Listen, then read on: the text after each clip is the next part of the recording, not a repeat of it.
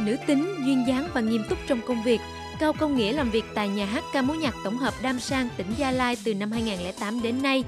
Tuy vậy, Nghĩa thật lòng chia sẻ, trước nay bạn chưa từng được đào tạo chuyên sâu về thanh nhạc nên vẫn luôn mong muốn chính thức được đào tạo và sẽ sắp xếp công việc để thực hiện điều này ở thời điểm sớm nhất.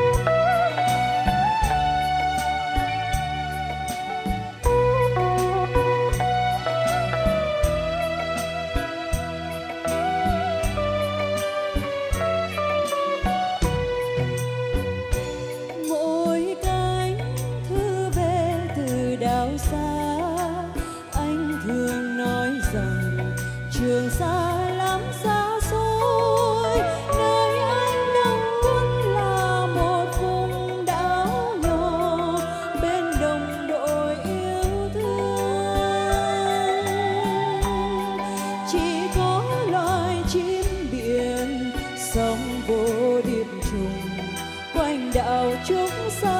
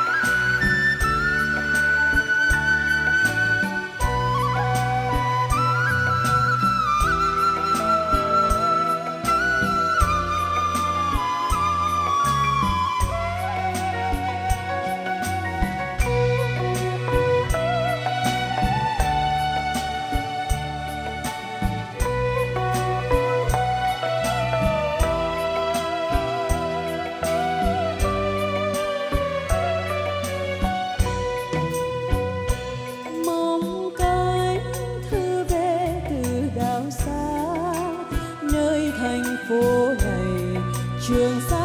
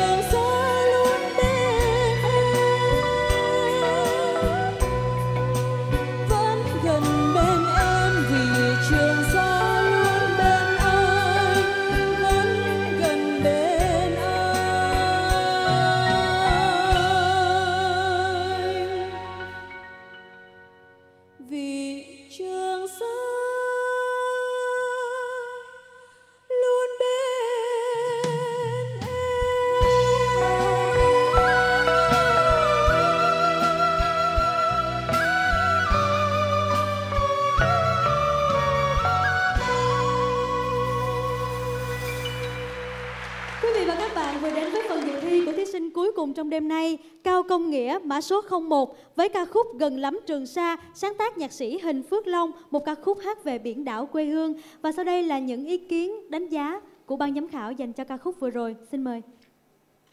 À, đúng là các thí sinh thi tiếng hát truyền hình thành phố Hồ Chí Minh làm cho ban giám khảo đi hết từ bất ngờ này đến bất ngờ khác. À, đặc biệt là em à, khi ở vòng trước ở cách đây hai vòng thì chị thấy em xuất hiện với một hình ảnh một cô gái rất là bốc lửa và kết hợp với những động tác vũ đạo rất là đẹp. Hôm nay em lại xuất hiện với tà áo dài rất thướt tha và có những uh, câu hát rất mượt mà, kể cả những cái câu luyến láy của em làm cho chị rất bất ngờ. Uh, cái đó là chị rất là là khen bởi vì sao bởi vì là chị rất muốn một cái người nghệ sĩ luôn luôn có được những cái sự bất ngờ và có khi mà thể hiện được tất cả các thể loại nhạc à, đều ra cái chất của nó. Và em đã làm được điều đó. À, chúc mừng em hôm nay chị rất thích cái tà áo dài của em và cái cách hát à, dân ca và luyến láy như thế. À, chúc mừng phần thi của em. Cảm ơn chị ạ. Chị chỉ có những điều chia sẻ như thế này thôi. Trước hết là chị xin được cảm ơn đạo diễn chương trình những nhà tổ chức đã tạo nên một không gian của bài hát gần lắm trường sa như là một nốt lặng cuối chương trình vô cùng đẹp và sâu lắng. Và nếu như mà em nhìn ra phía sau lưng em lúc em biểu diễn em sẽ thấy những đóa hoa bàn vuông vô cùng đẹp. Và chị hình dung em ngày hôm nay như là đóa hoa bàn vuông đó. Cảm ơn em đã mang lại một không gian tuyệt vời cho gần lắm trường sa và cho khán phòng ngày hôm nay. Và um, em là hình tượng của một người nghệ sĩ đa năng.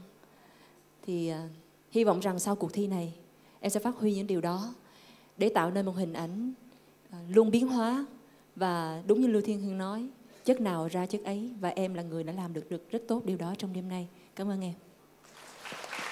Xin cảm ơn ban giám khảo. Và bây giờ là điểm số mà ban giám khảo dành cho phần dự thi của thí sinh Cao Công Nghĩa.